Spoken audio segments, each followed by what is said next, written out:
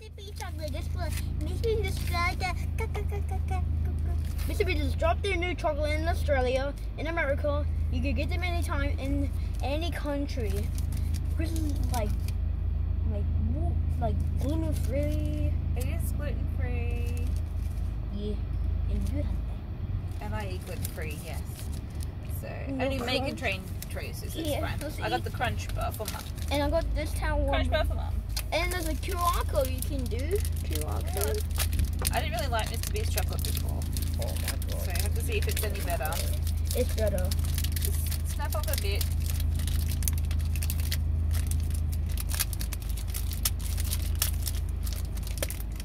Yeah, got a bit. Whoa. That's pretty good. You think it's good? Mm. It does actually taste better.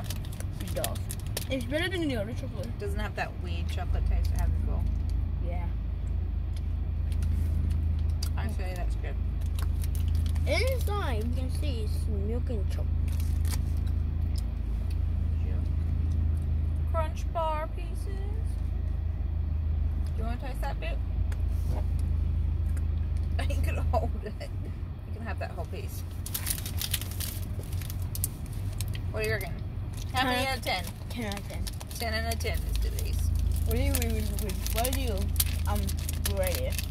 I think it's a 10, but it's a you know, Yeah. solid 8. Yeah, alright. Well, 8 out of 10.